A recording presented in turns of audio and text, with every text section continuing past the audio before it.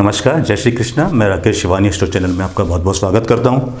जैसा कि आपको मालूम है कि इससे पहले भी मैं आपको करीब 10-11 वीडियो से लगातार संतान के बारे में वीडियोस बना रहा हूँ। संतान कैसी होगी, कब होगी, बेटा होगी, बेटी होगी, आपकी इज़्ज़त करेगी या नहीं करेगी, इसी के विषय में मैंने अभी तक वीडियो बनाई है। लास्ट वीडियो में मैंने आपको दिखाया था किस तरह निकालते हैं कि संतान कितनी होगी और बेटा होगा या बेटी होगी। मतलब आपके दो बच्चे होंगे, तीन बच्चे होंगे, बेटा होगा, बेटी होगी, वो सब कुछ मैंने निकाल के आपको बताया था लास्ट वीडियो के अंदर।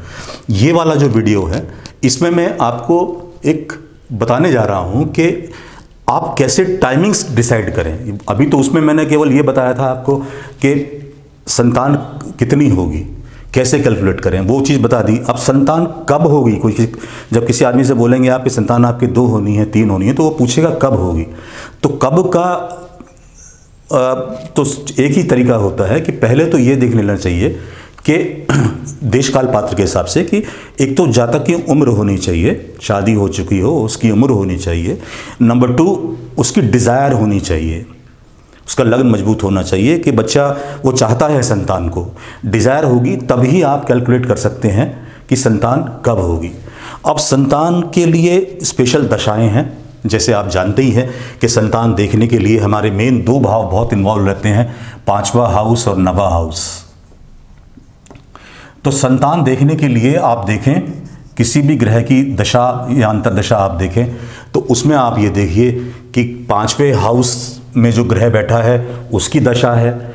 पाँचवें हाउस के स्वामी की दशा है, या नवे ग्रह, नवे हाउस में जो ग्रह बैठा है उसकी दशा है, या नवे हाउस के स्वामी की दशा है, या नवे हाउस और पाँचवें हाउस को जो ग्रह देख रहे हैं उनकी दशा है, या गुरु पुत्र कारक होता है उसकी दशा है तो ये दशाएँ होनी चाहिए संतान के लिए।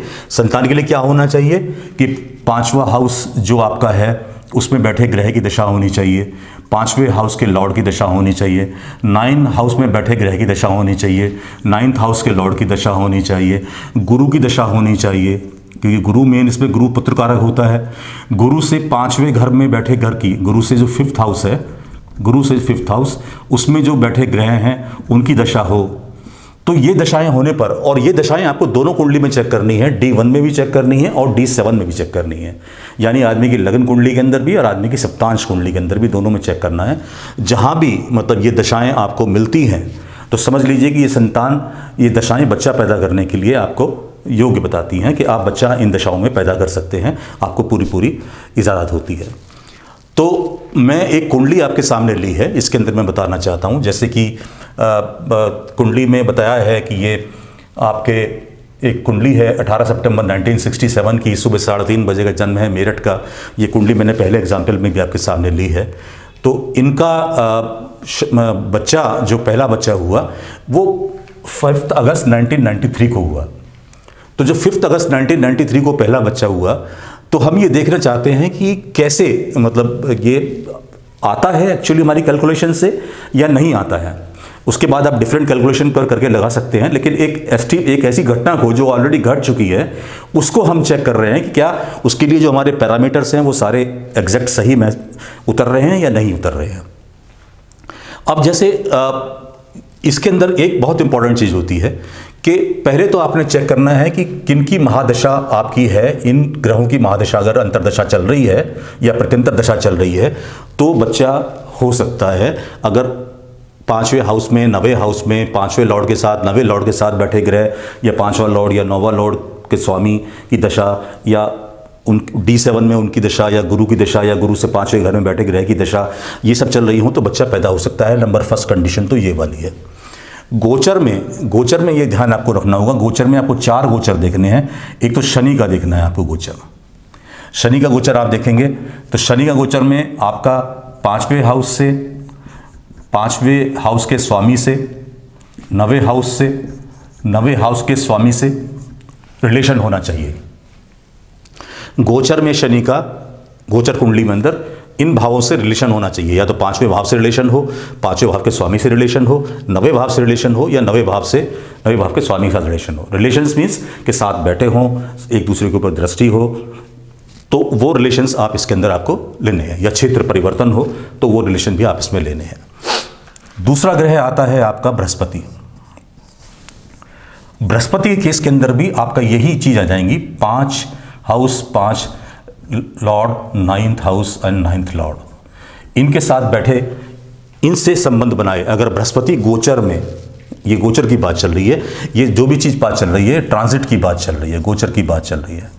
तो ये ध्यान रखिए, गोचर में अगर बृहस्पति यहाँ से संबंध बनाए पाँचवें हाउस से, पाँचवें लॉर्ड से नाइन्थ हाउस से या नाइन्थवें लॉर्ड नाइन्थ लॉर्ड से। तो कंडीशन ये दूसरी, ये भी ज़रूरी है आपको फुलफिल करना। ये जो कंडीशन मैं आपको बता रहा हूँ, ये चारों कंडीशन पूरी होनी चाहिए। जब चारों गोचर सेटिस्फाई होंगे, तभी चिल्ड्रन होगा। क्योंकि दशा तो होती है, लेकिन गोचर भी उसके लिए अनुरूप होना चाहिए। तीसरा गोचर आता है मंगल का। मंगल के लिए भी सेम पाँचवें हाउस से रिलेशन हो, पाँचवें लॉर्ड से रिलेशन हो नाइन्थ हाउस से रिलेशन हो और नाइन्थ लॉर्ड से रिलेशन हो। और चौथा गोचर आता है चंद्रमा का। आप जानते हैं चंद्रमा कितनी स्पीड चलता है तो चंद्रमा गोचर बहुत इंपॉर्टेंट है, बिल्कुल आसपास की डेट डिसाइड करने के लिए। तो इसके अंदर आपका गोचर, इसका भी संबंध पाँचवें हाउस से, पाँचवें हाउस के स्वामी से, नवे भाव से, नवे भाव के स्वामी से, और साथ में इसमें लगन से भी संबंध आ जाता है इसका। अगर चंद्रमा इनसे संबंध बनाए शनि इनसे संबंध बनाए, बृहस्पति इनसे संबंध बनाए मतलब इस भाव में हो, इन भाव के ग्रहों के साथ हो, या इनको देख रहा हो, शनि इन भावों से बनाए, बृहस्पति इन भावों से बनाए, मंगल इन भावों से बनाए, और चंद्रमा इन भावों से बनाए तो ये आपका समय पूरा इसके अंदर टली हो जाता है। अब इसमें आपको क्या देखना है? मतलब इसमें एक चीज़ ये देखनी है कि शनि का संबंध मतलब आपका जन्म से नौ महीने पहले तक इनसे होना चाहिए। जन्म से नौ महीने पहले तक होना चाहिए। अगर जन्म के समय है तो फिर तो well and well and good है।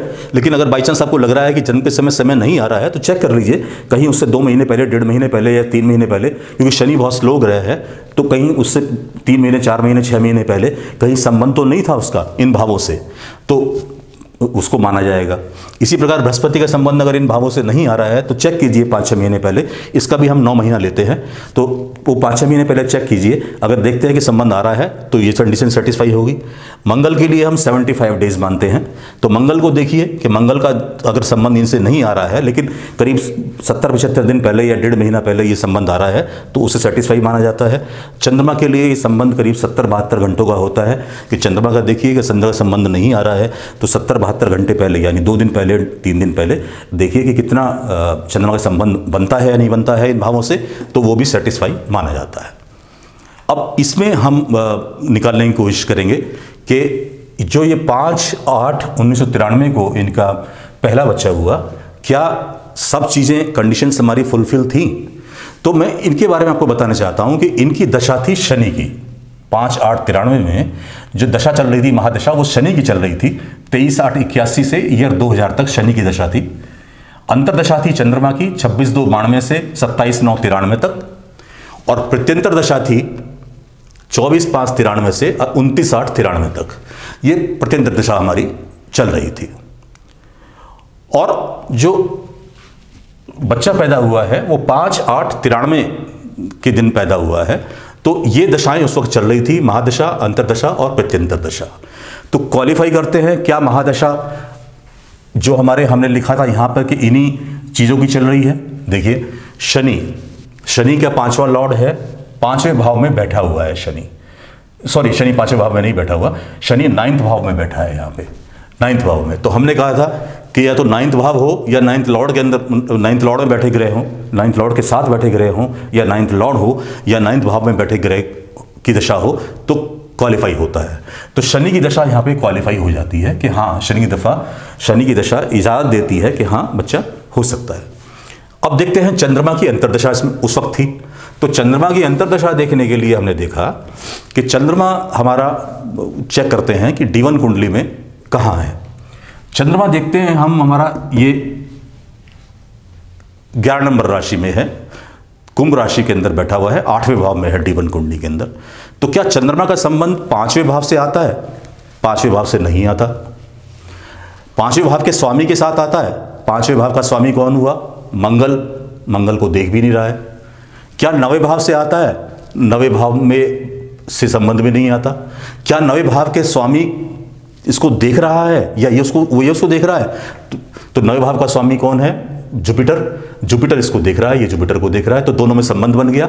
यानी नवे भाव में और नवे भाव के स्वामी के साथ संबंध बना तो चंद्रमा की दशा भी फुलफिल हो जाती है और ये भी अलाउ करती है कि हाँ चाइल्ड हो सकता है। अब आइए प्रत्यंतर दशा वीनस की। देखिए कितने हम नज़दीक पहुँच रहे हैं। अब हम यहाँ पर चौबीस पाँच से तीन तीन महीने के डिफरेंस में पहुँच गए चौबीस पाँच तिरानवे से उनतीस आठ तिरानवे तक। वीनस देखिए, क्या वीनस का पाँचवें भाव से कोई संबंध है? पाँचवें भाव में बैठा हो, नहीं बैठा है। नवे भाव में बैठा हो, नहीं बैठा है डी के अंदर। पाँचवें भाव के स्वामी के साथ हो, पांचवा का स्वामी मंगल है, उसके साथ नहीं है। नवे भाव के स्वामी के साथ, नवा भाव का स्वामी है बारह नंबर, जुपिटर। जुपिटर साथ वीनस बैठा हुआ है। इसका मतलब वीनस की प्रत्यंत दशा भी आपको कहती है कि ठीक है। तो ये दशाओं ने पूरी क्लियरेंस दे दी इसके अंदर। अब देखना है हमें, गोचर में ये चारों कंडीशन हमारी फुलफिल होती है नहीं होती है। अगर गोचर में ये चारों कंडीशन फुलफिल हो जाती है तो उसका मतलब पहला बच्चा की जो हमारी रिक्वायरमेंट है, जो डेट है, वो बिल्कुल सही हुई है। अब गोचर में देखिए, ये मैंने उस वक्त की गोचर कुंडली बनाई है, जब उस बच्चे का जन्म हुआ, उस वक्त की कुंडली थी ये। तो ये कुंडली बनी हुई है इसके अंदर। इसमें आप देख सकते हैं कि शनि का संबंध होना चाहिए पाँचवें हाउस से, पाँचवें लॉर्ड के साथ नाइन्थ हाउस से नाइन्थ लॉर्ड के साथ। तो शनि देखिए, शनि का संबंध क्या पाँचवें हाउस से है? शनि का संबंध पाँचवें हाउस से, शनि गोचर में पाँचवें हाउस को देख रहा है नहीं देख रहा है। नहीं देख रहा है। एक, दो, ये यहाँ से लेंगे सीधा तो यहाँ से सात हो गया, आठ हो गया, नौ हो गया, दस। तो शनि का संबंध पाँचवें हाउस से बनता है। यानी शनि पाँचवें हाउस को देख रहा है, अपनी दसवीं दृष्टि से देख रहा है। तो ये संबंध बन गया शनि का भी। अब देखिए बृहस्पति, क्या बृहस्पति का संबंध इन भावों से बनता है? बृहस्पति का संबंध देखिए। बृहस्पति का संबंध पाँचवें भाव से बनता है। नहीं, ना ही मंगल के साथ बनता है, पाँचवें लॉर्ड से भी नहीं बनता। बृहस्पति का संबंध नवे भाव से बनता है? जी, क्योंकि नवे भाव का स्वामी है बृहस्पति। तो नवे भाव से बृहस्पति का संबंध बनता है और वो अपने भाव को देख भी रहा है। तो इस तरीके से नाइन्थ भाव को वो देख भी रहा है तो बृहस्पति भी यहाँ पर कंडीशन फुलफिल करता है। आइए मंगल पे। मंगल देखते हैं, क्या मंगल का पाँचवें भाव से कोई संबंध है? बिल्कुल संबंध है, मंगल पाँचवें भाव का स्वामी है। गोचर कुंडली में अगर आप देखें तो मंगल पाँचवें भाव का स्वामी है। तो मंगल का पाँचवें भाव से संबंध बन गया तो ये भी हमारा संबंध पूरा हो गया। अब चंद्रमा देखें, क्या चंद्रमा का पाँचवें भाव से संबंध है? चंद्रमा का पाँचवें भाव से कोई संबंध नहीं है। चंद्रमा ना तो देख रहा है, ना बैठा है। नवे भाव से कोई संबंध नहीं है। ना देख रहा है, ना बैठा है। ना उसके लॉर्ड के साथ कोई संबंध है, उसको भी नहीं देख रहा है। तो चंद्रमा का क्या संबंध है? लग्न से। क्योंकि चंद्रमा में एक अलग पैरामीटर आता है कि लग्न से संबंध हो। चंद्रमा, लग्न से क्या संबंध है? क्योंकि लग्न कर्क है तो चंद्रमा खुद लग्नेश है। तो चंद्रमा का लग्न से संबंध हो गया। तो इसका मतलब यह हुआ कि चंद्रमा का भी गोचर इसके अंदर क्वालिफाई हो गया। तो चारों गोचर क्वालिफाई हुए, तीनों दशाएँ क्वालिफाई हो गई। इसका मतलब पाँच, आठ, तिरानवे जो बच्चा हुआ, वो एवरीथिंग फुलफिल्स हर क्राइटेरिया हमारा पूरा होता है। तो आशा करता हूँ ये तरीका आपको समझ में आया होगा। इस तरीके से आप अप्रॉक्सीमेट डेट निकाल सकते हैं कि कभी भी बच्चा पैदा होने की, कि ये दशाएँ तीनों फुलफ़िल करती हों और ये चारों चीज़ें गोचर फुलफ़िल करता हो। और वो मैंने आपको ज़रूर बताया है कि इसके अंदर नौ महीने पहले, इसमें नौ महीने पहले, इसमें करीब सत्तर दिन पहले और इसमें करीब सत्तर घंटे पहले तक का हम ले सकते हैं कि उससे पहले भी अगर चार महीने पहले छः महीने पहले गोचर उसको क्वालिफाई कर रहा हो तो वो क्वालिफाई माना जाता है। आशा करता हूँ आपको ये वीडियो अच्छी तरह समझ में आया होगा। अगर आपको समझ में आया हो तो काइंडली सब्सक्राइब ज़रूर कीजिएगा, ताकि मेरा हौसला अफजाई बनी रहे और मैं नई नई वीडियोज़ आपको डालता रहूँ मोटिवेशन के लिए। थैंक यू वेरी मच जय श्री कृष्णा।